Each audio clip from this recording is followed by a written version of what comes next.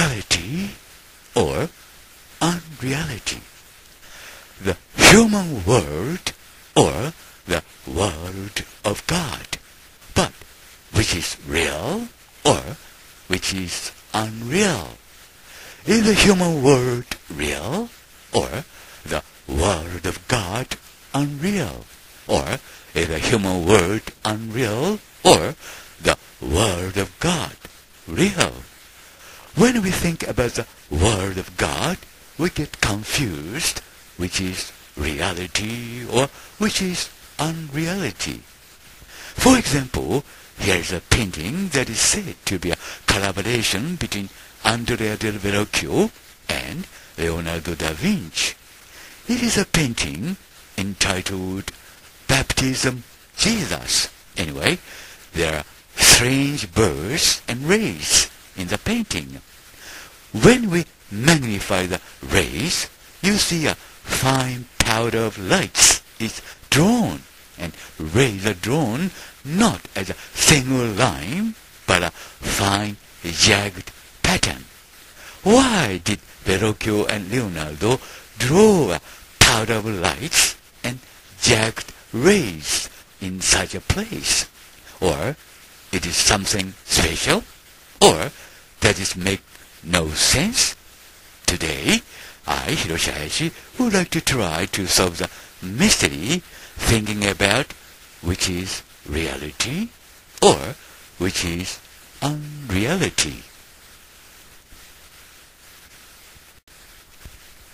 現実と非現実人間世界と神の世界が本当はどちらが現実でどちらが非現実なのか人間世界の方が現実で神の世界の方が非現実なのかそれとも人間世界の方が非現実で神の世界の方が現実なのか。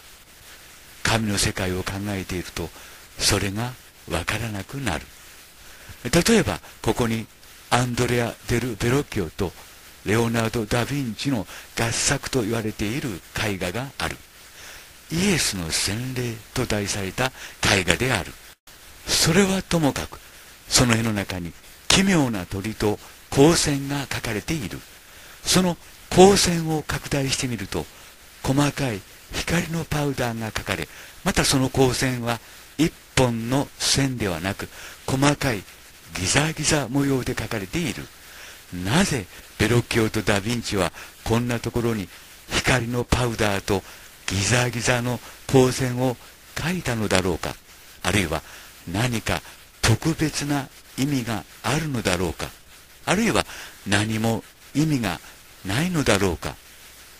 今日はその謎解きに挑戦してみたい。広島やし浜松シティジャパ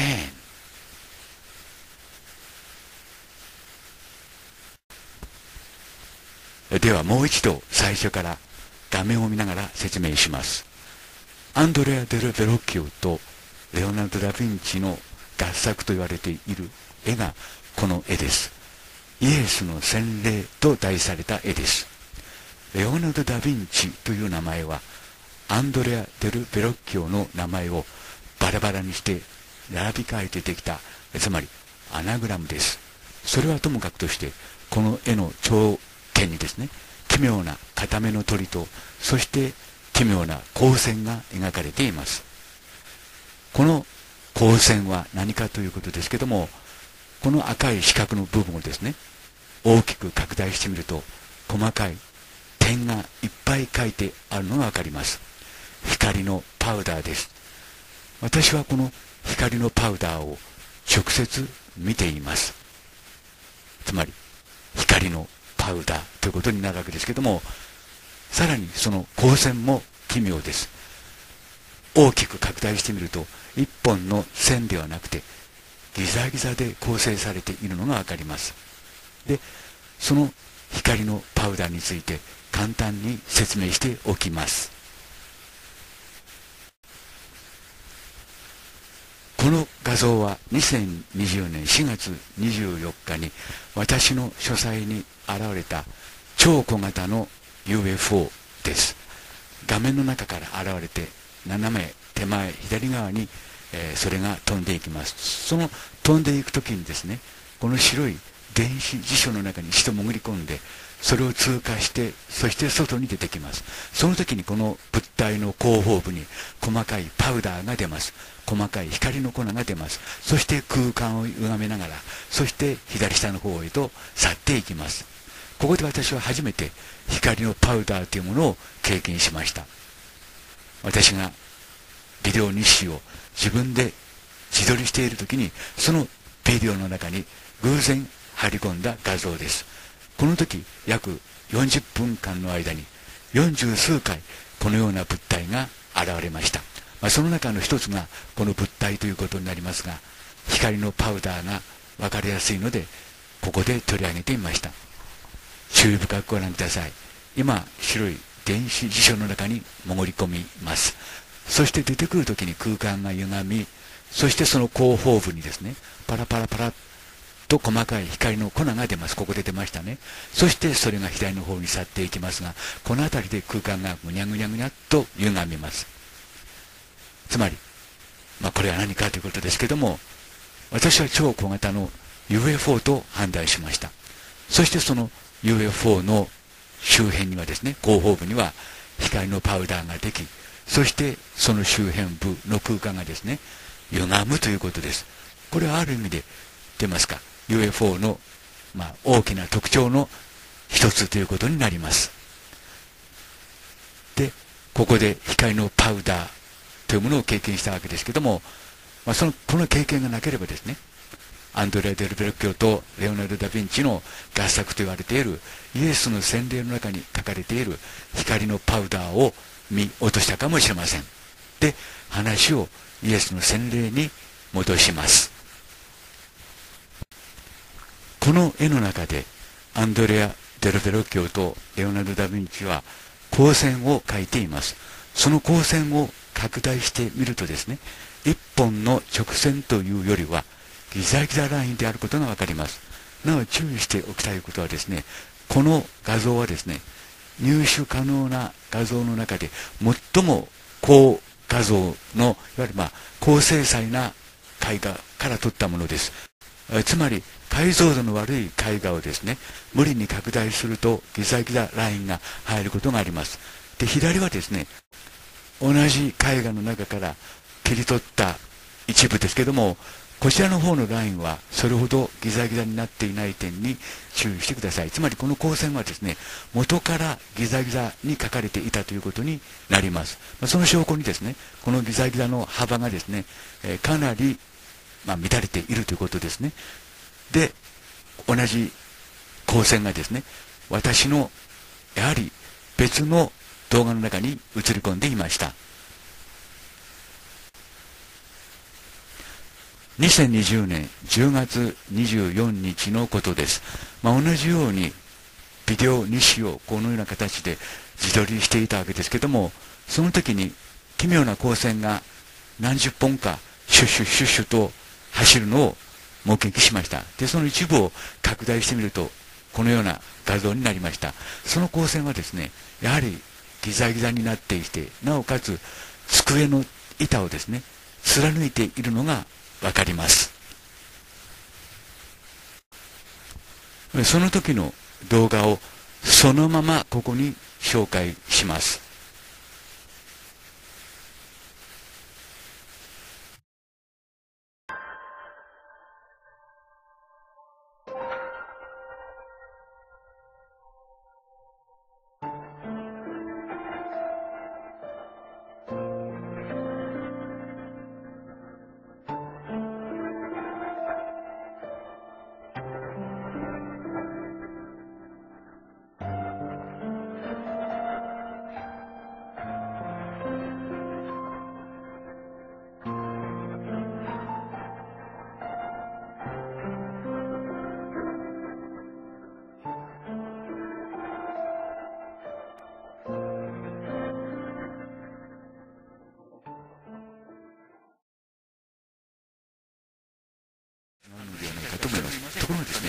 もう一箇所、こんな物体が映り込んでいました。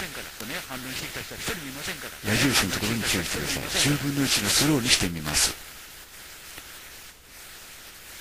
注意深くご覧ください。シュッシュッと走りましたね。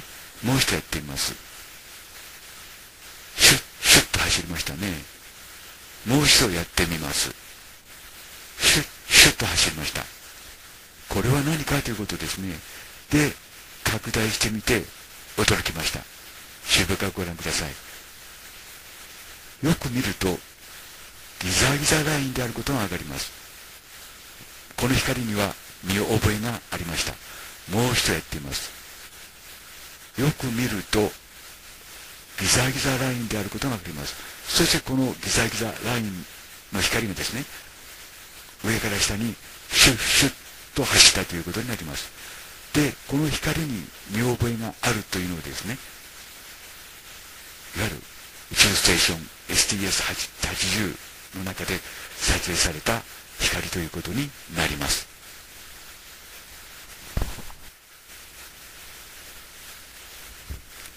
Mr. Martin Stubbs writes about this video as follows. STS-80 spacewalks were cancelled as NASA views the jammed door that was supposed to be the cause these flames and field flames or self-luminous UFOs all around the outside of that door. When the shuttle got home, the door was suddenly okay. A half dollar mission failure. STS-80 was a space shuttle mission flown by Space Shuttle Columbia. The launch was originally scheduled for 31 October 1996, but was delayed to 19 November for several reasons. This video was taken by an astronaut at that time. Watch very carefully for the strange little lights flying around. And it was April the 14th, 2019, when strange small lights, very similar to these lights, were captured on the video at my seminar held in Gifu City, Japan. Please compare these two videos.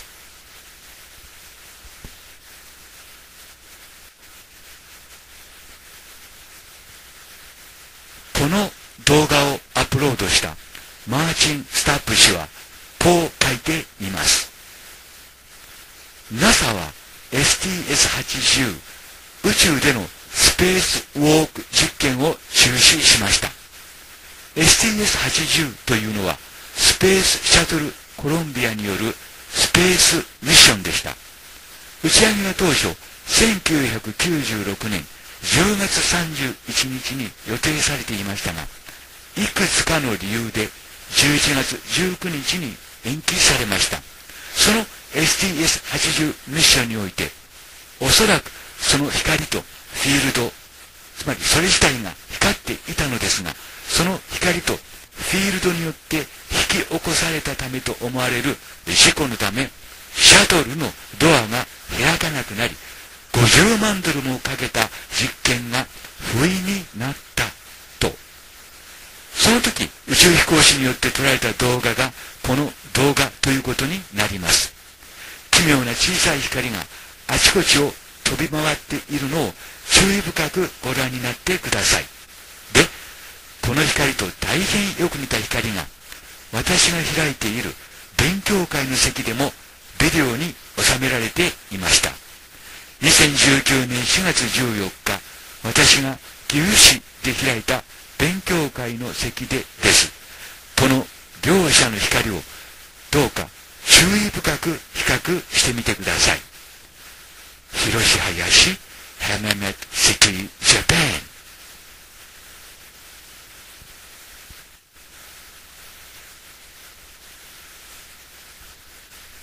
ンではもう一度最初から画面を説明します。これは STS-80 のですねスペースウォーク実験の際に撮られた動画だそうです。で、スペースウォークをですね、まあ、宇宙服を着て、まあ、宇宙へ出るという実験ということになるわけですけども、その実験のために、まあ、このスペースミッションがなされたということですが、その時にですね、ドアの外と説明にはありますけども、そのドアの外にですね、このような奇妙な開口現象が起きたというわけです。そして同時にですね、そのドアがジャムで、つまり開かなくなってしまったというわけです。それでその実験は失敗し、中止になったというわけです。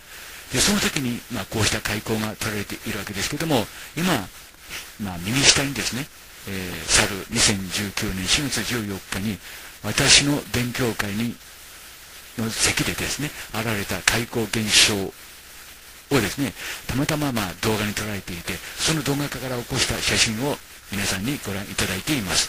その光の様子と、左のですね、STS80 ミッションの時に現れた光の様子が大変よく似ているということです。で、比較してみます。左が、えー、STS80 ミッションの時に撮られた写真です。右下がですね、えー、勉強会で、まあ、たまたま撮られた写真ということになります。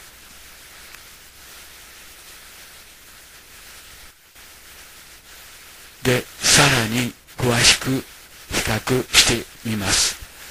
えー、左上が STS80 ミッションの時に撮られた写真です。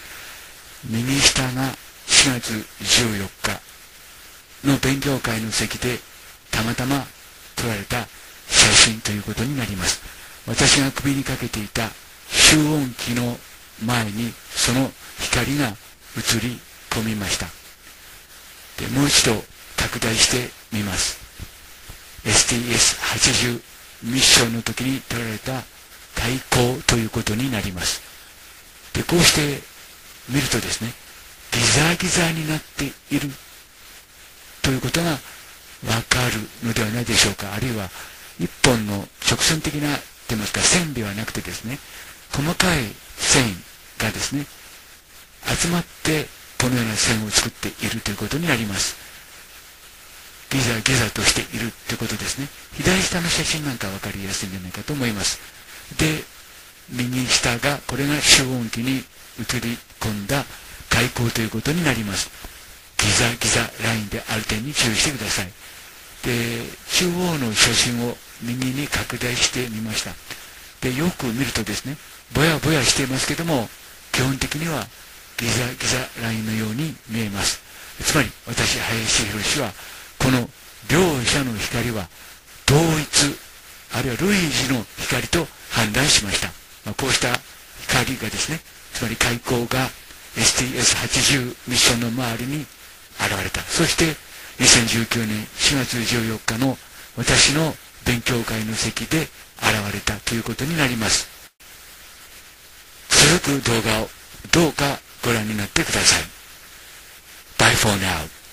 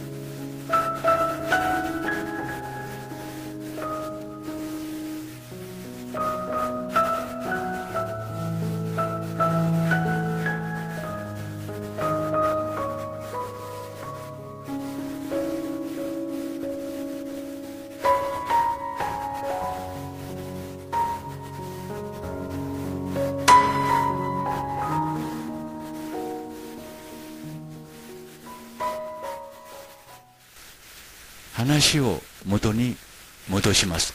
左がですねアンドレア・デル・ベロッキオとレオナルド・ダ・ヴィンチの合作と言われているイエスの洗礼の絵の最上部に書かれている、まあ、奇妙な光線ということになります。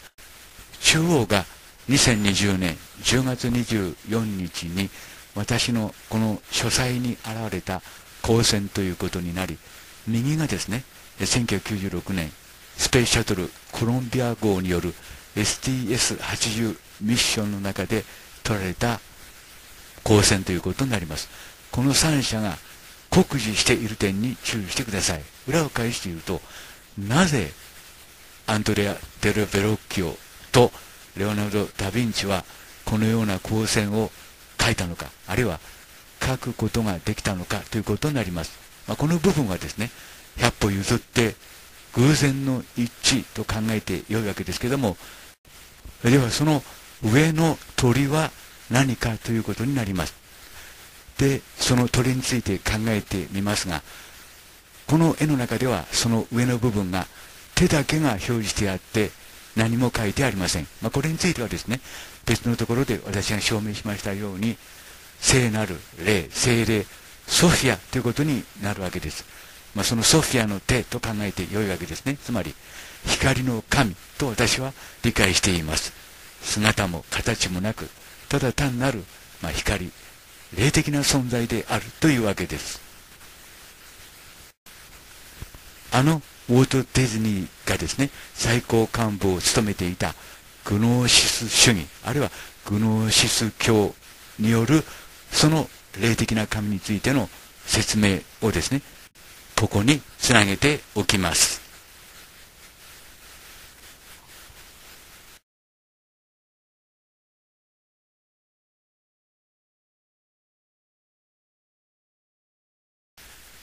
Ultra Culture Gnostic website writes as follows. The Gnostics believed that the world was created by an evil demiurge usually identified with the Old Testament Creator God Jehovah. The true higher God was unknowable, infinite, unchangeable, and undefiled, and had a feminine counterpart, the creative force or Holy Spirit Sophia. Choshin グノーシスサイトによれば次のようにあります。グノーシス派はこの世界は旧約聖書の中に出てくるエホバと呼ばれる邪悪なデミウルゴスつまり宇宙の創造主によって創造されたと信じていた。が真のより崇高な神というのは知ることもできなく無限で変化することもなく汚れのない神を言う。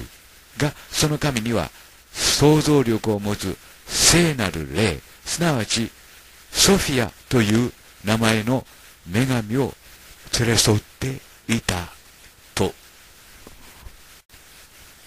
そして中世の画家たちはあちこちの絵画でその鳥を表現していました「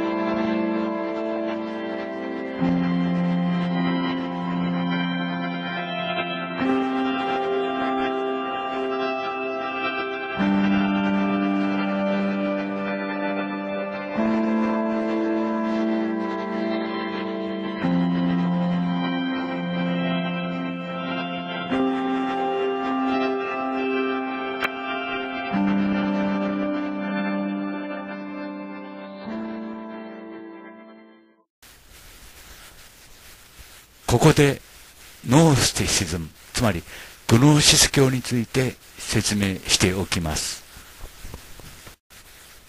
あのシェイクスピアもグノーシス教の信者であったということになります。そのシェイクスピアが書いた14行詞の表紙の上にはこのような絵が飾ってあります。この絵の中央に奇妙な動物が描かれています。右はグノーシス派のウェブサイトに紹介されている絵です。その絵の中にも同じ動物らしきものが描かれています。守護神なのかそれとも対立する悪魔なのか分かりませんけども同じものが描かれているということですね、まあ、こうしてシェイクスピアとグノーシス派があるいはグノーシス主義がつながっていくということになります。そしてもう一枚グノーシス主義のウェブサイトにはこんな絵が紹介されていました。最上段7人の天使がいます。そして7本の柱です。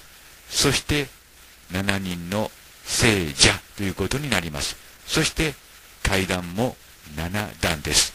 7にこだわっています。つまりこうした数字は偶然にそういう風になっているのではなくてあえて意図的にそのように仕組まれているということになります。そして最上段中央に注意してください。ここには神とそして鳥が描かれています。神と鳥が描かれています。左はベロッキオとダ・ヴィンチが描いたとされるイエスの洗礼の絵です。その絵の中にも同じようなものが描かれていますけども手だけしか描かれていません。では誰の手かということですけどもこのグノーシス主義のウェブサイトに載っている絵を重ね合わせてみますとその上には神がいるいたということになります。旧約聖書の世界ではエルシャダイイコールヤーウェ全知全能の神ということになりますがグノーシス主義のウェブサイトによればさらにその上位の霊的なつまりスピリチュアル的な神ソフィアということになります。ここで初めて私の一連の動画の中で霊的な神というのが出てきました。他の人が言っているのではありません。シェイクスピアダ・ヴィンチミケランジェロそしてウォルト・ディズニーと絡んだその構図の中からソフィアホーリー・スピリットが出てきました。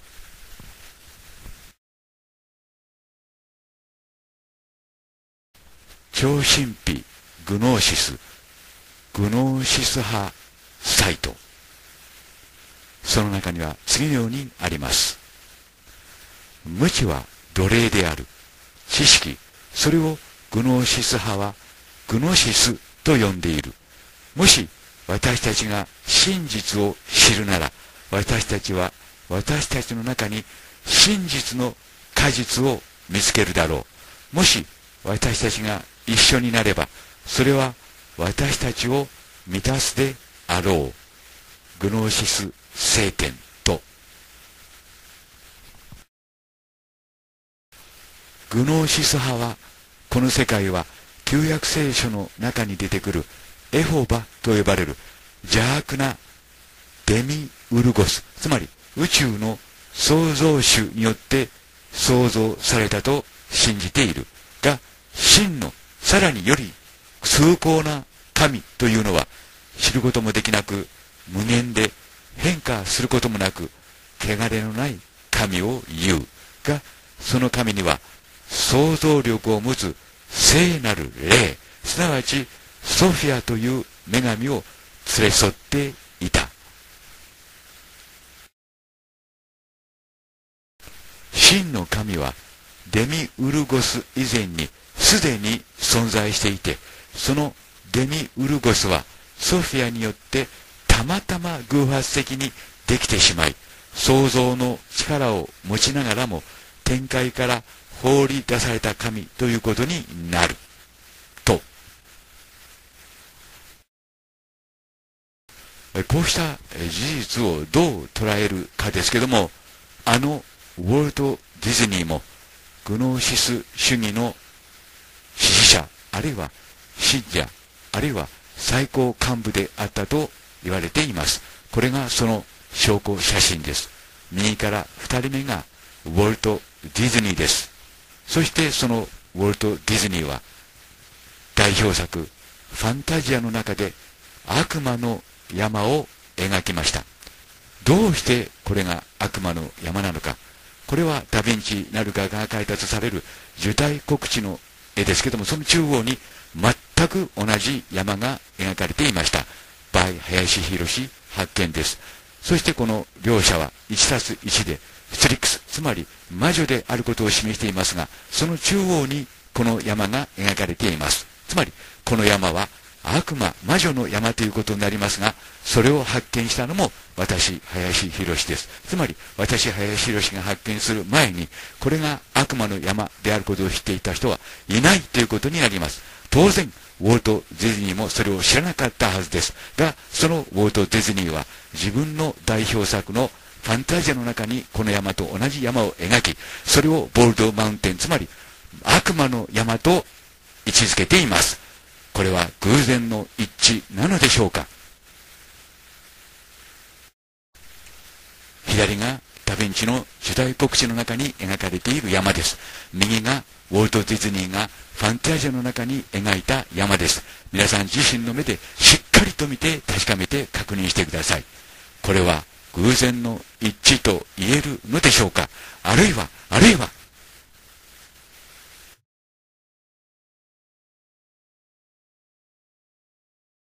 で結論ということになりますがもう一度最初にお見せした絵をご覧ください。これはグノーシス主義のウェブサイトに紹介されている神と鳥です。上に神がいて鳥がいます。同じような絵をベロキオとダヴィンチが描いています。手と鳥が描かれているだけでその上が描かれていません。でその絵にグノーシス主義のウェブサイトに載っている神と鳥をこうして重ね合わせてみます。これで辻褄が合います。つまりここに描かれているのはエルシャダイのエホバではなくてヤーウェではなくて実はグノーシス主義によればですねソフィアということになります。さらにその上位のスピリッツ霊の神。ホーリースピリッツであるということになります。つまり神の中の神さらにその上位の神ということになります。